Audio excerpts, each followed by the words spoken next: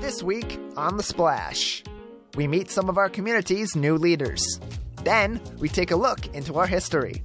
And later, some big secrets about networking.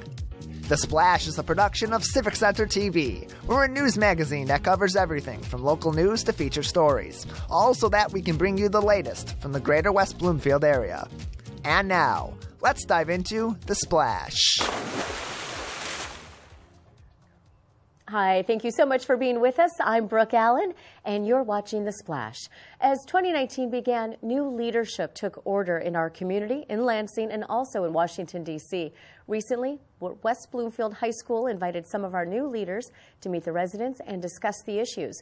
Reporter Laurence Nilan has the story. Local residents recently made the trip to West Bloomfield High School and were able to get to know some of the government officials who represent their interests in Lansing. The event was entitled Meet Your New Legislators, and it was organized by the West Bloomfield School District Board and the Parent Communications Network. Uh, really, it was a meet and greet of your legislative rep- representative, senator, and going over some of the school funding and getting the community's input into that. Uh, we had a presentation about a report that recently came out, uh, the School Finance Collaborative report, that goes over the recommended uh, funding for uh, pupils and other resources for school districts in Michigan. And investing in children when they are very young not only turns them into better citizens, it also helps to enrich an entire community. To have our students come out of school prepared to go to college or prepared to go into uh, a, a, trade or to get a job, we want to make sure our kids are educated, uh, and that starts at the earliest levels. Inside every community, a school is one of the anchors. One of the most important things is having a good school. If your schools start going south, if they start coming apart and not doing the job, it impacts the entire community. So it really is something that all the community cares about. And both men are ready to take up the fight for the needs of West Bloomfield at the state capitol in Lansing. Well, my goal is, uh, as a representative, to represent uh, con- our constituents here and bring those concerns and the voices of the residents in the 39th District to Lansing when we're going over policy, when we're going over funding, to make sure we have the adequate funding, the adequate resources for our community. Well, I'm uh, for the first time on the education committee, so I'm going to be able to do a deeper dive in terms of what is going on in policy, what's going on with funding. So I'm basically going to spend some time learning and figuring out what is the direction I want to go in terms of trying to craft legislation. Reporting for The Splash, this is Laurence Nilan. To find out more, you can visit civiccentertv.com slash meet the legislatures. Since 1974, the Greater West Bloomfield Historical Society has been hard at work preserving trinkets of our local communities and passing on the stories of our past. One of the highlights of the Historical Society's work is their monthly open houses. Reporter Ryan Younglove has the details. In May 1978 was the start of the Greater West Bloomfield Historical Society. With their mission of preserving, researching, and stimulating public interest in the history of Keego Harbor, Sylvan Lake, Orchard Lake, and West Bloomfield. While many events are held by the Historical Society every year, they also have monthly open houses that take place the second Sunday of every month at the Orchard Lake Museum. Every open house is about a specific subject or time period in the Greater West Bloomfield's history.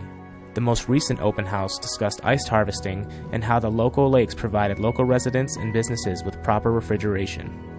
Past open houses discussed events such as the tornado of 1976, displaying newspaper articles and quotes from those who witnessed the disaster.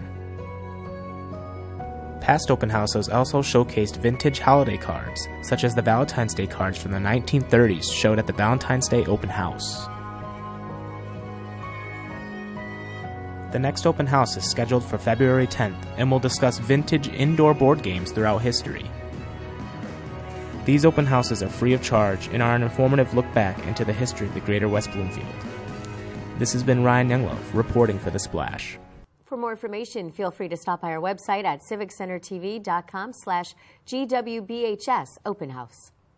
Coming up, we learn to make friends in business and then another episode of Sidewalk Talk. Don't go away. You're watching The Splash on Civic Center TV.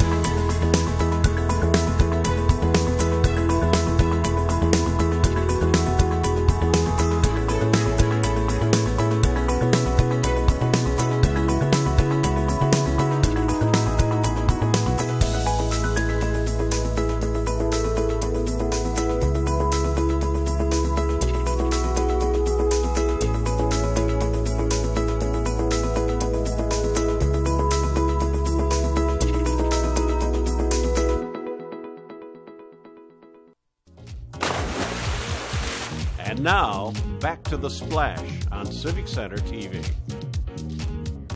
Thank you for being with us on The Splash. I'm Brooke Allen. In every profession, it's important to know a range of people throughout your office and your industry. Recently, the Greater West Bloomfield Chamber of Commerce invited a special guest to teach its members some tips and tricks on perfecting their networking skills. And we sent reporter Tyler Kieft to learn more. At the West Bloomfield Library, local business owners and budding professionals gathered for a lesson in business prowess with the Chamber of Commerce. The Greater West Bloomfield Chamber of Commerce continued their next Big Thing initiative recently, inviting professionals from across our community to come together to mix, mingle, and learn ways to grow their companies from experts in a variety of areas. The next big thing, BIG, is an acronym for Business Innovation Generator. And these are monthly meetings to offer small to medium sized businesses information about how to sustain and thrive their businesses. In order to make a company strong, you have to have an expansive network, something expert Abby Kohut hoped to teach local professionals at this seminar. Networking is about making friends. That's it. It's just like kindergarten when mommy dropped you off at the playground and she said, Go out and meet a friend. And you went up to little Bobby and you said, Hi, my name is Abby, and I'd like to be your friend. That's exactly what's going on right now. And if we stop thinking of it as networking, it will be less scary because it's easy to make a friend. You just talk to someone, find out what they're all about, and see if you have anything in common. And if you do, then you talk about it. And that is exactly what West Bloomfield's professional community did. They talked, they mingled, and they broadened their horizons something the Chamber of Commerce is proud to have fostered. I'm always trying to have strategic planning about how these businesses can work together and really support one another because that's what helps our community thrive and be known as a really great place to work, play, and live. People do business with people they know and trust. With some new knowledge and a network of business professionals, it's clear the next big thing is in Greater West Bloomfield. Reporting for The Splash, I'm Tyler Kieft. For more on this story, you can visit civiccentertv.com slash big networking. Now it's time for Sidewalk Talk, where reporter Patrick McElmurray asks the people of Greater West Bloomfield about dating.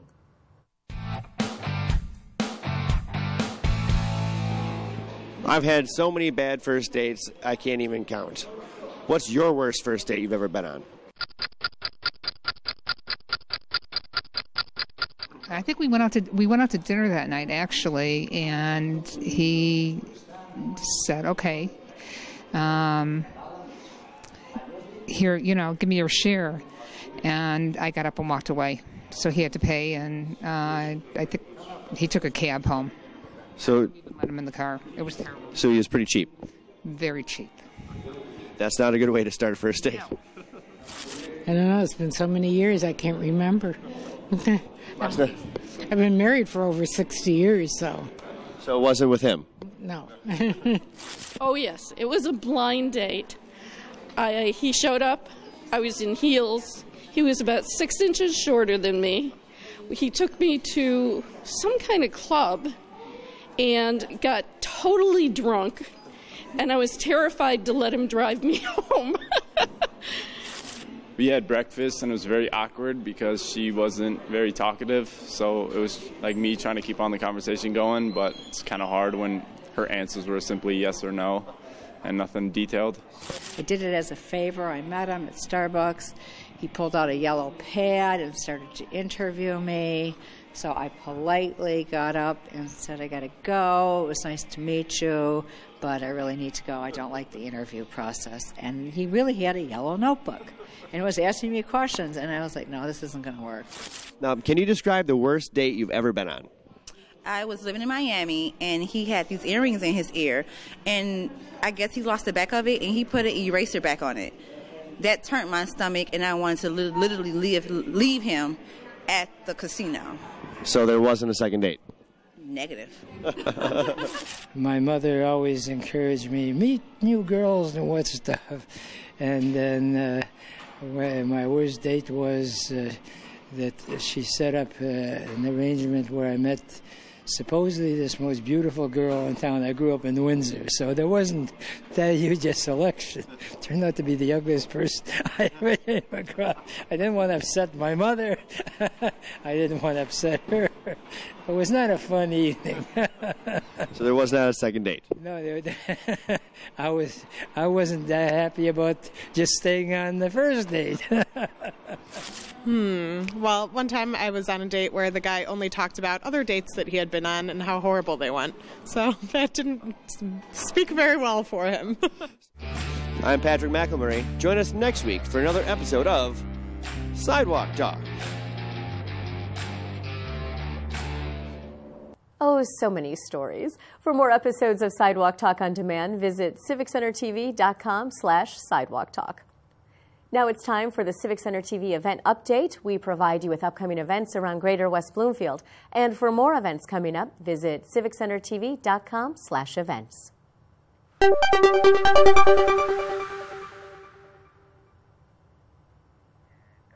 The new resident open house at West Bloomfield Parks. New resident orientations are being held to introduce our residents to West Bloomfield Township and the services the township offers. The orientation will start in the nature room where you will be introduced to West Bloomfield Parks animal ambassadors and then spend a few minutes hearing an overview of their programs and facilities from their recreation superintendent. All residents are welcome and light refreshments will be served, one goodie bag per family given please pre-register so we can anticipate attendance. For more information and to register, please visit wbparks.org.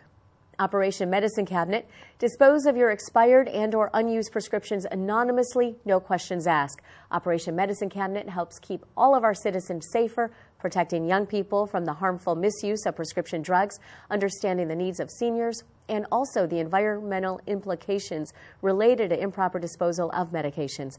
West Bloomfield Township and the cities of Keego Harbor and Orchard Lake Village are community participants in this program.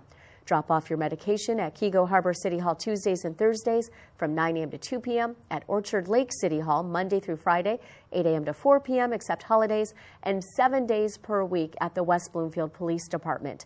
For more information, visit oakgov.com slash sheriff. Sit to Stay Fit exercise class Wednesdays from 11 a.m. to 12 noon at Spirit of Grace Church in West Bloomfield. Help your mind, body, and spirit and improve your strength and balance in this fun exercise class for people of all ages. It costs $4 to attend each class, and you can learn more by calling 248 682 0770 or by visiting spiritdrivenchurch.org. Books and Babies, February 1st at 10 a.m. at the West Bloomfield Library. It is never too early to introduce babies to books. Stimulate your baby's brain development through movement, rhyme, finger plays, puppets, books, and creative gross motor skill activities. This is an interactive program designed to build positive communication between baby and caregiver. This class is free to attend, and you can register and find more information online at wblib.org. Join the West Bloomfield Educational Foundation for Casino Night at Edgewood Country Club for the Foundation's annual fundraiser. Enjoy strolling appetizers and music by the great Byron Emotion Band. This is a fun night of casino games galore, including blackjack, roulette, and bingo. There will also be a raffle drawing for $10 to win $10,000. Silent auction raffles galore, followed by late night pizza and dessert. There is something for everyone. The foundation provides grants that promote innovative ideas and projects in the classroom that support academic achievement, technology, and the building of leadership skills and good character in our students. Tickets are $35, $75, or $125 depending on registration level and will rise to $45, $85, and $135 at the door. To find out more information and to register to attend, please visit WBEF.org or call 248 865 6463. Kids Night Out, February 9th at 6 p.m. at the Recreation Activities Center. Need a date night, looking for time with friends, or to catch up on life? Kids Night Out is the perfect opportunity to drop your children off at the Nature Room. Kids will enjoy a fun filled three hours focusing on how animals survive winter. The program will feature games, a snack, and science experiments. Children are invited to come dressed in their PJs. Pre registration with a camp waiver release form is required and costs $20 for residents and $25 for non residents. To register, visit WBParks.org. And that's this week's highlights. You can find more events online or at civiccentertv.com slash events. See everything going on in the greater West Bloomfield area. We're going to take a short break, and when we come back, we'll be speaking with Helen Jane Peters and Tina Herzberg from the Sylvan Lake Garden Club. Don't go away. You're watching The Splash on Civic Center TV. Civic Center TV is your home for everything Greater West Bloomfield. Here you can tune into community programming such as our weekly news magazine show, The Splash, as well as coverage of local events and meetings in Keego Harbor, Sylvan Lake, Orchard Lake, and West Bloomfield. You can also watch all of your local programming online anytime at civiccentertv.com. Civic Center TV, television that's close to home. Before every meeting of the West Bloomfield Township Board, join Civic Center TV for a brand new show called West Bloomfield Township Board All Access, airing at 5:30 p.m. Our team will review how to access meeting agendas, go over the key issues on that night's agenda, and talk to township officials about projects happening right here in your hometown. It all happens live at 5:30 p.m. before every meeting of the West Bloomfield Township Board on Civic Center TV and 89.3 WBLD, the all-new Lakes FM. And now, back to The Splash on Civic Center TV. Welcome back. We are joined by Helen Jane Peters and Tina Herzberg from the Sylvan Lake Garden Club. And thank you, ladies, for being here. I really appreciate it. Thank you. So, the Sylvan Lake Garden Club, uh, tell me what that is. It's a community group where we get together, do some uh, maintenance in the Memorial Park. Uh, we share a knowledge of gardening, love of nature, um, plantings. Um, what else? Tree trees. Right. We are So- a tree community. So yeah, trees are Sylvan means trees. Okay. So we want to keep as many trees growing and healthy as possible. And Sylvan Lake is known as the prettiest little city in Michigan. That's so true. I guess the Garden Club is contributing to that. Uh, the Garden Club goes back many years. You guys are going into your 80th year. That's right. Um, so tell me a little bit about how it began. Well, it started in 1939, and there were eight ladies that came to the first meeting, and then um, the, by the end of that year, they had 40 members, and all ladies from Sylvan Lake. And it was started by Mrs. Joe James, who was a magnificent lady. She, uh, she grew up in a family where her, both of her parents were gardeners, and then her second husband owned a flower shop and a garden. So that was the love of her life. But she also loved birds and she loved kids and she did a lot in the community. And she lived to be 102. Wow. Yes, she That- was amazing. So um, we're, the Garden Club is going into its 80th year. Yes. But your mother Yes. was a member of the Garden Club, correct? Yeah, yes, she was in the 40s. So uh, we'll go back to this mysterious book that's sitting here in a minute. Okay. But there's a lot of history and a lot of the Garden Club that, I mean, you guys do an ice cream social.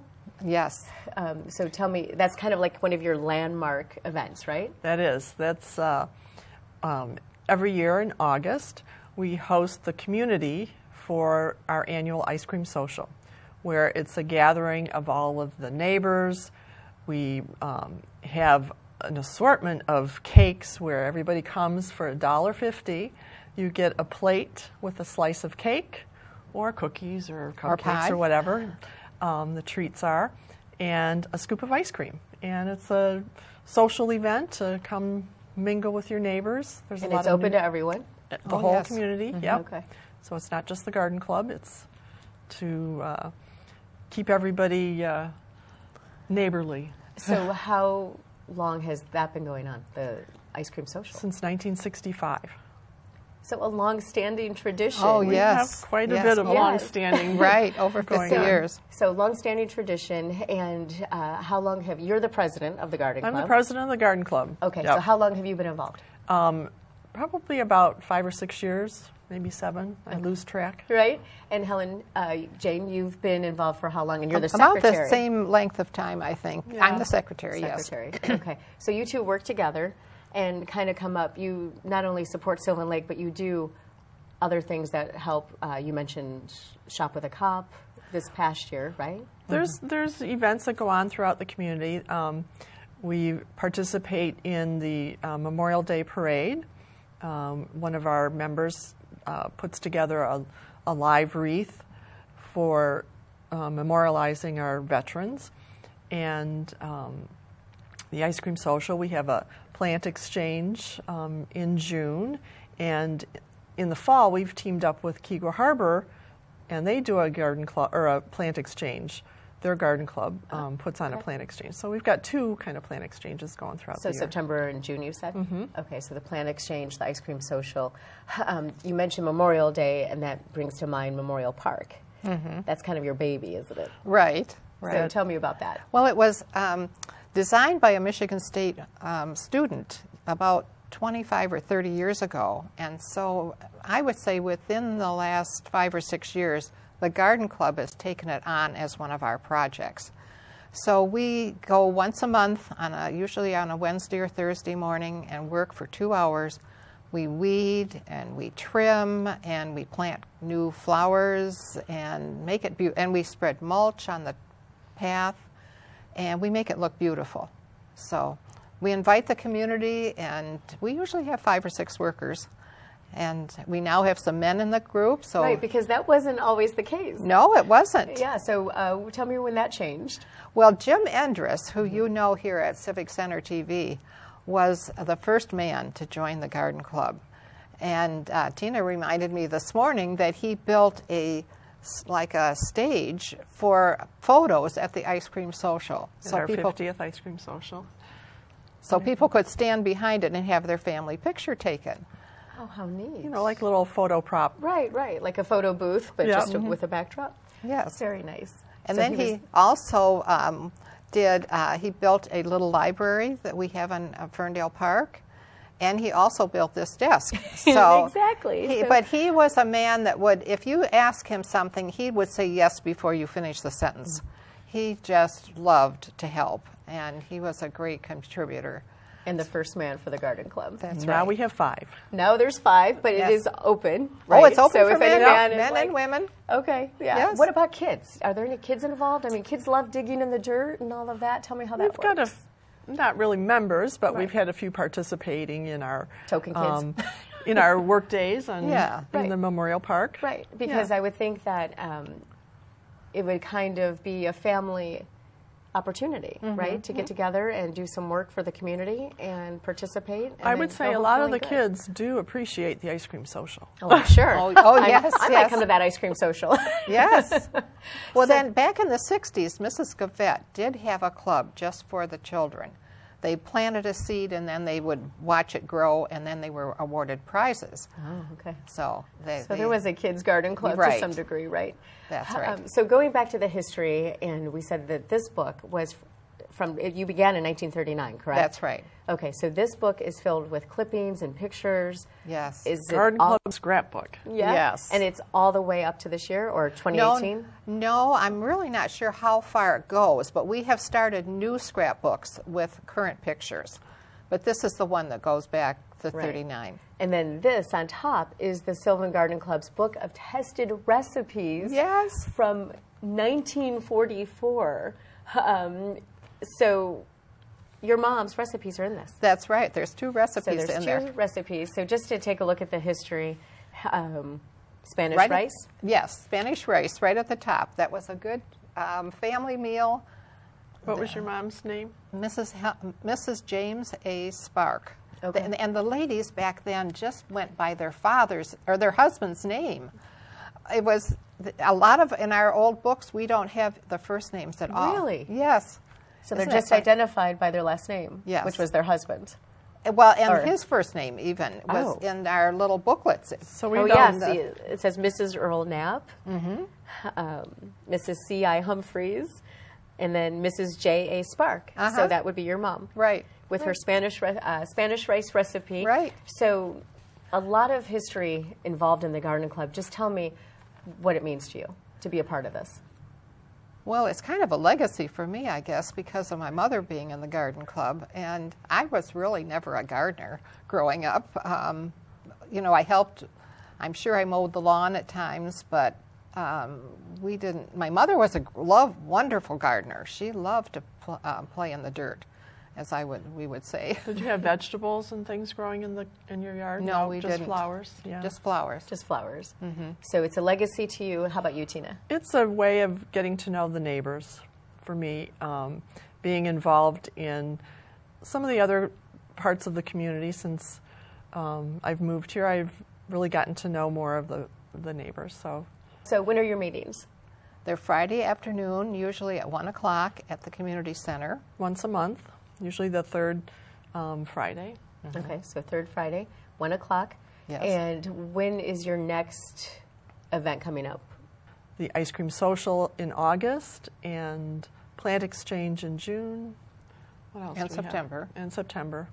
Okay, so we've got a lot of events to look forward to Oh, because yes. As we speak, you know, there's a lot of nasty weather swirling around us since we're in the middle of January, oh, almost the end of January, oh, actually.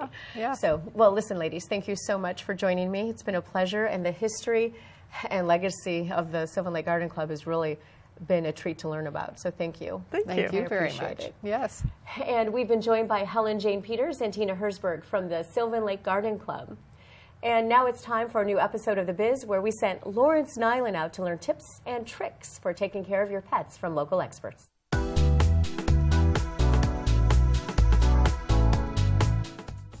Healthcare is an important issue for most families, but that also includes keeping our smallest family members, our pets, active and vibrant as well. And in this edition of The Biz, we visit Pet Valu, a store that caters to keeping our animals as healthy as they can be. It has become amazingly, increasingly popular, yes. So I think a lot of us feed our pets better than we feed ourselves. And that's anything from grain free, gluten free, corn free, holistic diets, uh, raw food and alternative feeding, frozen food. The pet industry and the pet food industry has changed so much, even in the last 5, 10, 20 years. We all grew up, for the most part, buying food at the grocery store. And we've learned, uh, especially recently, that that food is not going to be the best food for our pets for longevity and living a happy life. We're all familiar with the term holistic, but what exactly does it mean in terms of a pet's diet? A holistic diet is really kind of an all encompassing diet that includes fresh meats, fresh, fresh vegetables, uh, fresh grains, uh, and is really a whole and all inclusive diet to be able to take care of a pet uh, in a holistic way. So, that holistic approach and really thinking of it, uh, taking care of not just one specific need in their diet, but the pet as a whole. So, you think of the ingredients uh, kind of being something that you would serve to your entire family at a, a big Thanksgiving dinner. Food allergies worldwide are on the rise for humans, but pets are not immune to this growing trend. I think people are becoming more aware of pet allergies and food sensitivities, and really kind of the, the few things that you can look for in your pet are one, hot spots. So, are they having any skin irritation? Uh, constant ear infections is another great indicator that your pet might have a food sensitivity or an allergy, licking and chewing at their paws. Anytime you're really noticing obvious discomfort, we can help you find an alternative that might be causing that issue or that sensitivity. And usually, the biggest and easiest way to do that is by switching foods. When pollen, dust mites, mold spores, and other triggers come in contact with a pet's skin, they can also trigger allergies, and bathing is a good remedy for treatment of these symptoms. Um, but based on dog breed and how long their coat is, how oily their coat is, yes, we, we love a dog wash, especially for heavier coated breeds, longer hair dogs. So our dog wash is fantastic. You can see behind us, each one of our locations has a hand painted mural that's specific to the community. We welcome all animals into the dog wash, but we've seen pigs, goats, mini horses, uh, anything that you can bring in. But our dog wash can accommodate up to uh, a giant breed dog. We've had 250, 300 pound mastiffs in the wash, up to our uh, St. Bernards and then we've got a smaller tub there in the middle where you can bring in your chihuahua, and it's easier than doing it in the kitchen sink. For Civic Center TV, I'm Laurence Nilan. For more episodes of The Biz, visit civiccentertv.com slash The Biz. And now it's time for our final segment, Person of the Week. People in the community inspiring, providing toward others. And this week's recipient is Alex Ho, owner of Sylvan Learning.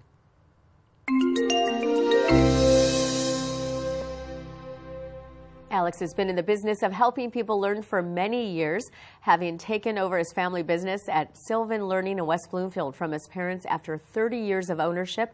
Helping people develop their educational skills is not only a passion of Alex's, it's in his blood.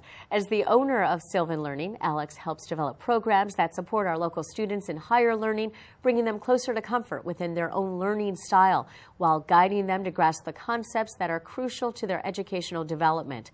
Alex's supportive, calming demeanor helps ease the pressures of learning complex concepts and brings a sense of accomplishment and excitement when new ideas are learned and mastered and creates fun learning environments for all who pass through Sylvan Learning in West Bloomfield. Alex's naturally supportive nature and thirst for knowledge has helped many local students in their learning journey, which is why he is our Person of the Week. If you know someone who is making a positive difference, let us know. Send an email to the splash at civiccentertv.com. We want to congratulate and acknowledge those making a difference in our community, and we appreciate your suggestions.